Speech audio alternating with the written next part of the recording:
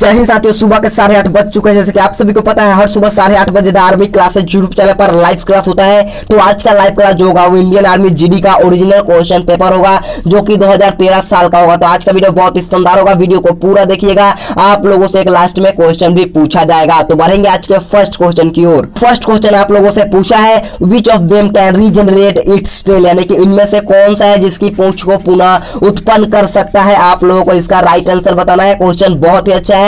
तो इस क्वेश्चन का राइट आंसर जो होगा, वो ऑप्शन नंबर यानी कि जो छिपकली बताए हैं, उनका एकदम राइट है यानी कि छिपकली जो है अपने पूछ को पुनः उत्पन्न कर सकता है। तो बढ़ेंगे दो नंबर क्वेश्चन की और दो नंबर क्वेश्चन आप लोगों से पूछा गया है who is called black pearl यानी कि ब्लैक पर्ल के नाम से किन्हें जाना जाता है, आप लोगों को बताना है। तो ब्लैक पर्ल के नाम से जो जाना जाता है, वो पेले को जाना जाता है। यानी कि इस क्वेश्चन का जो राइट आंसर होगा, वो ऑप्शन नंबर ए होगा। तो बढ़ेंगे तीन नंबर क्वेश्चन की और तीन नंबर क्वेश्चन पूछा है what is the capital of Assam यानी कि असम की राजधानी, आप लोग बता रहे हैं कि असम की राजधानी कहाँ पर है। तो असम की राजधानी जो है वो दिसपुर में है। कि इस क्वेश्चन का राइट आंसर जो होगा, वो ऑप्शन नंबर सी होगा। तो बढ़ेंगे चार नंबर क्वेश्चन की और चार नंबर क्वेश्चन आप लोगों से पूछा है। With which game is Dilip trophy associated यानी कि दिलीप ट्रॉफी का संबंध किस खेल से है? आप लोगों को बताना है। तो दिलीप ट्रॉफी का जो संबंध है, वो क्रिकेट से यानी कि इस क्वेश्चन का राइट आंसर जो होगा, वो ऑप्शन नंबर सी होगा। तो बढ़ेंगे पाँच नंबर क्वेश्चन की और पाँच नंबर क्वेश्चन आप लोगों से पूछा है। Chief justice of India is appointed by यानी कि भारत के मुख्य न्यायाधीश की नियुक्ति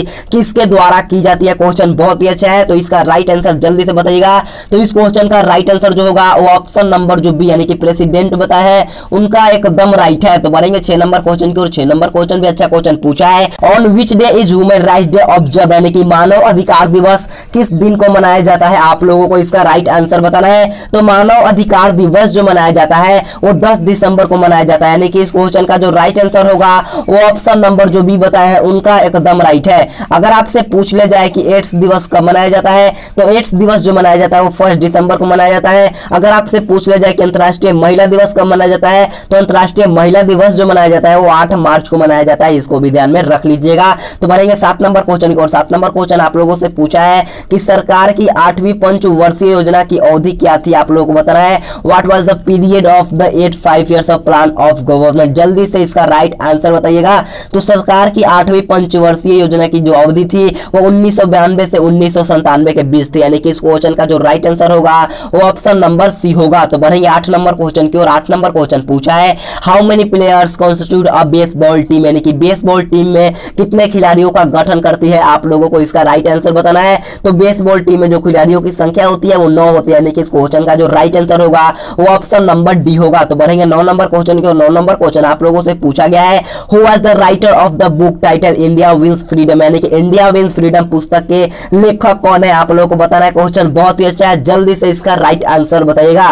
तो इंडिया विंस फ्रीडम के जो लेखक है, वो मौलाना अब्दुल कलाम आज़ाद है, यानी कि इस क्वेश्चन का जो राइट आंसर होगा, वो ऑप्शन नंबर जो सी बताया है, उनका एकदम राइट है। तो बढ़ेंगे दस नंबर क्वेश्चन की और दस नंबर क्वेश्चन आप लोगों से पूछा है which country as national flag is not rectangle in shape यानी कि किस देश का राष्ट्रीय ध्वज का आकार जो है, वो ऐतकार नहीं है। आप लोगों को इसका राइट आंसर बताना है तो इस क्वेश्चन का राइट आंसर जो होगा, वो ऑप्शन नंबर सी यानी कि जो नेपाल बताया है, उनका एकदम राइट है। आप लोगों को स्क्रीन पर शो कर रहा होगा कि देख लीजिए नेपाल का जो है, वो मतलब कि झंडा का ऐतकार है या कैसा है, देख लीजिए आप लोगों को स्क्रीन पर शो कर रहा होगा। तो बढ़ेंगे ग्यारह नंबर क्वेश्चन की और ग्यारह नंबर क्वेश्चन आप लोगों से पूछा है in the United Nation how many countries have been given veto powers यानी कि संयुक्त राष्ट्र में कितने देशों को वीटो पावर्स प्रदान किया गया है, आप लोगों को बताना है। तो संयुक्त राष्ट्र में जो है, वो पाँच देशों को वीटो पावर्स प्रदान किया गया है। इस क्वेश्चन का जो राइट आंसर होगा, वो ऑप्शन नंबर बी होगा। तो बनेंगे बारह नंबर क्वेश्चन की और बारह नंबर क्वेश्चन आप लोगों से पूछा गया है। In which year did CV Raman receive Nobel prize यानी कि डॉक्टर सीवी रमन को किस वर्ष में नोबेल पुरस्कार मिला था? आप लोगों को बताना है। तो सीवी रमन को जो मिला था, वो 1930 में नोबेल प्राइज मिला था। यानी कि इस क्वेश्चन का जो राइट आंसर होगा, वो ऑप्शन नंबर ए होगा। तो बढ़ेंगे तेरह नंबर क्वेश्चन की और तेरह नंबर क्वेश्चन अच्छा क्वेश्चन पूछा है। Which city is called city of garden यानी कि किस शहर को बगीचा का शहर कहा जाता है? आप लोगों को इसका राइट आंसर बताना है। तो बगीचों का शहर जो कहा जाता है, वो बेंगलुरु को कहा जाता है। यानी कि इस क्वेश्चन का जो राइट आंसर होगा, वो ऑप्शन नंबर ए होगा। बढ़ते हैं चौदह नंबर क्वेश्चन की और चौदह नंबर क्वेश्चन आप लोगों से पूछा गया है। Bangkok is the capital of यानी कि बैंकॉक जो है, वो किस देश की राजधानी है, आप लोगों को बताना है। तो बैंकॉक की जो राजधानी है, वो थाईलैंड की राजधानी यानी कि इस क्वेश्चन का राइट आंसर जो होगा, वो ऑप्शन नंबर बी होगा। तो बढ़ेंगे पंद्रह नंबर क्वेश्चन की और पंद्रह नंबर क्वेश्चन आप लोगों से पूछा गया है। Where is located I M A यानी कि आई एम ए कहाँ पर स्थित है, आप लोगों को बताना है। तो आई एम ए जो स्थित होता है है, वो देहरादून में स्थित होता है यानी कि इस क्वेश्चन का राइट आंसर जो होगा, वो ऑप्शन नंबर सी होगा। अगर आपसे पूछ ले जाए कि आर आई कहाँ पर स्थित होता है तो आर आई जो होता है, वो देहरादून में ही होता है। इसको ध्यान में रख लीजिएगा। तो इसी के साथ आप लोगों का जनरल नॉलेज का प्रश्न समाप्त हुआ। अब बढ़ेंगे जनरल साइंस की तरफ़। तो जनरल साइंस का सोलह नंबर का क्वेश्चन आप लोगों से पूछा है। What is the unit of current यानी कि करेंट की इकाई क्या है, आप लोगों को बताना है। तो करेंट की इकाई जो होता है, वो एम्पियर होता है। यानी कि इस क्वेश्चन का जो राइट आंसर होगा, वो ऑप्शन नंबर सी होगा। तो बढ़ेंगे सत्रह नंबर क्वेश्चन की और सत्रह नंबर क्वेश्चन आप लोगों से पूछा गया है which vitamin is destroy by heating यानी कि कौन सा विटामिन जो है, वो गर्म करने पर नष्ट हो जाता है, आप लोगों को बताना है। तो जल्दी से इसका राइट आंसर बताएगा तो विटामिन सी जो है, वो गर्म करने पर नष्ट हो जाता है।